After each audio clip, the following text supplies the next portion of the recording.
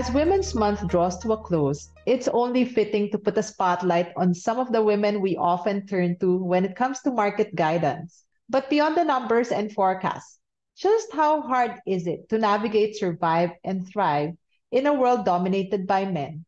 Let's hear their inspiring stories. We have with us Helen Go-Oleta, First Vice President and Head of Trust Trading at RCBC, Sandra Araullo, Chief Investment Officer at ATR Asset Management, and Cristina Gabaldon Ong, Deputy Head of Investment Management Division at Metrobank Trust. So let's begin by having our trip down memory lane.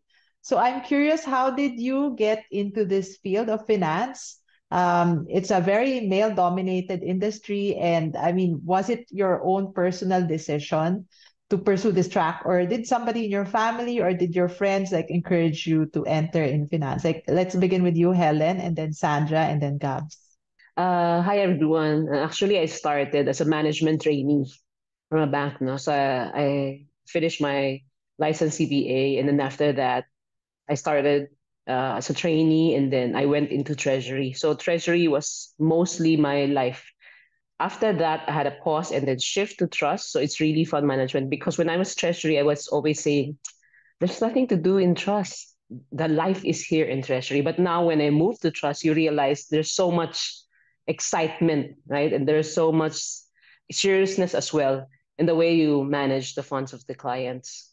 So, so in your in your career, have you spent like a longer period of time in trust versus say treasury and other? No, no. Uh, I, when I moved to treasury, uh, I started from sales to FX trading to fixed income trading. So until I became became a uh, chief dealer and then a treasurer. So I've moved around the whole of treasury. So it's exciting. It's a different kind of uh, excitement altogether compared to trust. Mas, um, I think the trust is a different uh, field, a different uh, level of uh, management talaga.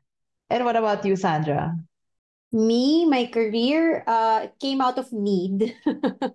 I think uh, the concept of male-dominated field didn't really bother me. If anything, it it was a challenge for me because I feel like um I felt like uh I can compete. I've always um um had opportunities to go head to head, toe to toe with men in different disciplines, whether it's school, university.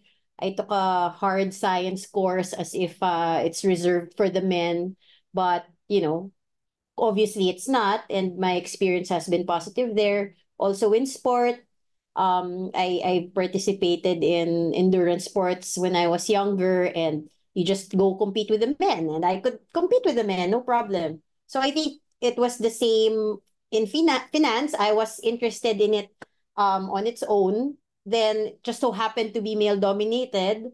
And I kind of, uh, there were a lot of things I learned along the way, obviously. Um, at first, I was competing like a man, really. But then later on, I, I embraced you know feminine virtues that are that prove to be more effective i think in uh in in charting out my career in this industry what about you gabs so for me, it was a personal decision. I think uh, early on, I as a young girl, I was exposed to this field with my dad being a stockbroker. You know, the news channel was always on. Uh, news about the stock market was always there, and I was always interested in this field. And um, uh, back in college, I would like invest my allowance in the stock market, play the stock market as a kid, and uh, of course, back then, I was not very conscious of risk like I am now, right? Uh, but it was a good experience. Um, and um, early on, I was not yet in this field, but I took steps to get into trust. Uh, the buy side is the uh, well, the side that I really want to be in, and uh, like my course in college was economics and accountancy. And then um, when I graduated, I, I, was not initially in trust, but I took uh, courses like the CFA to get here. you know, now that you have all established your name in your respective companies and in the industry, how hard was it to climb up the corporate ladder? Did you experience some form of discrimination or maybe, you know, stereotypes along the way that, you know, acted as a hindrance, you know, for you to reach where you are today? Helen, let me begin with you again. Actually, uh, when I started my career, uh, the first part was easy because I think the first important thing that you need or a trait that you have is you need to love what you're doing. So it's very passionate with what I'm doing. I can work on Saturdays. I can work all the way late in the day just to make sure that everything's okay. So, so that's the grind, but I really love it. So the first part, and as you go up the ladder, you'll realize that the ladder width is getting thinner. So very challenging on the on top. That's one. And uh, sometimes you are in a situation. I, I still clearly remember when I was like eight months pregnant, and my boss said, "You have to close this deal at two in the morning." So I, I couldn't sleep because I was really so my point is there's no difference between men, women. If they can do it, we can do it. That's the mindset that I have all the time. Okay, what about you, Sandra? Did you experience discrimination? I think it's less uh discrimination and more they just don't know how to deal with us women. And I think in the past, uh, or at least before I came along, um, it's either there was no other woman who would voice out certain needs and concerns and so they didn't know how to respond to it but i also remember when i was uh, when i had just given birth um i said that i need a i need a breastfeeding room and it it it showed to them my commitment to my new role as a mother that they were happy to support because it it's circular eh. Parang if I'm happy in my personal life, I feel for fulfilled. I I'm not burning out unnecessarily because I'm trying to be one thing or another. Parang it's synergistic and it they saw how how it was helping me be more effective at what I needed to do for my work. So it was a good pilot because within the firm I also had batchmates of new moms that all kind of embraced you know motherhood and the challenges of being a new mother without necessarily having to sacrifice you know having a career. Because just ask for the help that you need and we'll work within you know what we can do i think. So I, I was really lucky in that regard.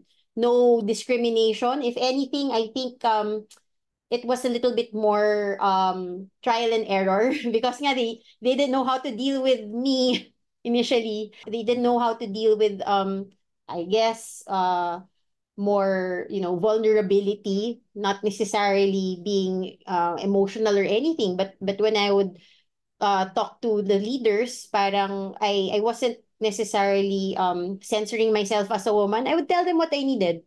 I would tell them mm. I would mm. cry. And initially, I, I felt na, you know, I was doing myself a disservice, but I couldn't help it. But it turned out na it helped because it was feedback to my bosses about what's working and what's not working. And they were happy to help me make it work. So again, it's luck more than anything. I understand na you know, that's not the case in every organization because we were smaller, we could afford it. Uh, in other places, I, I know there is a very real uh, challenge. Okay, what about you, Gabs? Uh, did you experience discrimination? And I'm just curious, you're also a mother, like all three of you are mothers. So, you know, of course, along the way when you were pregnant and you had a baby, um, did it actually hinder or slow down your your promotion? sure in my career I've encountered some stereotypes and discrimination. Stereotypes being for example, I would be always tasked to organize the meetings or finding the venue, finding the restaurant, taking care of the menu. Office uh, housework. It's called office housework. and like yeah. that. And uh, it was sort of an executive assistant type of role, but uh, people are forgetting that the executive assistant is the, one of the most powerful people in the organization, right? As to discrimination, um, it's not based on gender, but there's some cliquishness on some organizations. But I am glad in this um, current organization, Metrobank, that uh, they are very open to individuals of different backgrounds. And when it comes to performance assessments, the, it's discussed extensively across the different divisions and um, it's very merit based. So that's what I like about this organization. We're taking a short break when we come back. I have too many men in my team and I'm trying to, you know, I'm already mindful of the need for that balance, but I also don't want to choose based on gender necessarily. It's still again by merit and and right fit for the role. Uh, I think we're on the way there to really uh, put women in a higher level, right? Because if you look at the if you look at the let's say the number of employees, most of the women are really on the lower, right? Only a few goes up. So I guess it's now time for other for management to realize that women can offer a lot um, I think women have better empathy and emotional intelligence and could could um, help in the more inclusive culture of the organization.